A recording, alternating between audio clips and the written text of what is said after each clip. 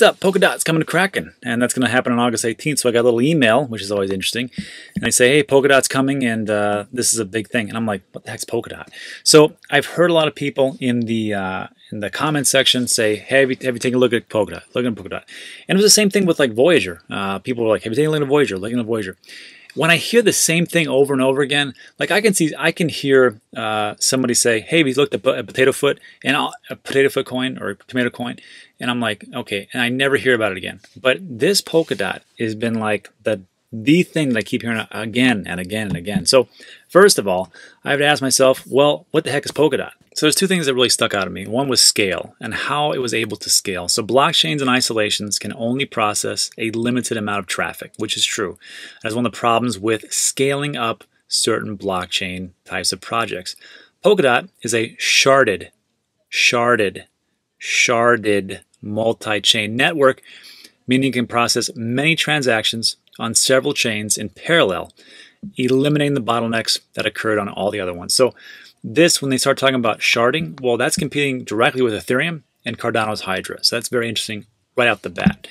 Next one, it talks about specialization. When it comes to blockchain architecture, one size doesn't fit all.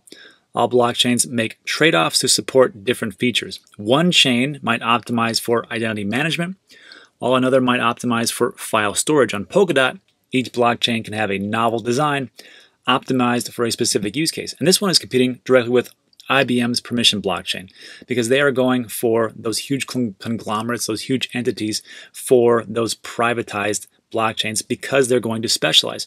But now with Polkadot, they can, they, they can come in and go, look, we do the same thing and we have a better product. So interesting to see what can happen. Now, going even farther, just so you know, Polkadot is now live. Great for that. There's interoperability, which we just talked about. Uh, blockchain innovation. Again, create a custom blockchain in minutes. That's pretty interesting. And this this part was what got me. Forkless and future-proof. Polkadot can upgrade without hard forks to integrate new features or bug or fix bugs. And I, I, I thought about it. I go, well, there's been other ones. Uh, same thing with like EOS. They had talked about the same thing, but there was a problem. However, this one's pretty interesting because it talks about Polkadot as a sophisticated governance system where all stakeholders have a voice, so they're going to be able to vote on where the direction of the chain actually goes. So these are the little things that I know about Polkadot. I am interested to see how it all works out. Uh, as far as like the price itself on CoinGecko, right now you were looking, this one is below the top 100, I believe. Amazingly, it is 300, almost three, it was, it's about 350. It's about 350 for one Polkadot. Why? Well, if you take a look at the circulating supply, it has a maximum of only 10 million. So that's interesting. However, does that mean it's going to take off? Well, it has a very low supply. So when you have supply and demand, and I believe this is going to have a huge demand when it goes live, we will actually see. I will tell you this though, as far as getting able to actually purchase Polkadot, good luck with that.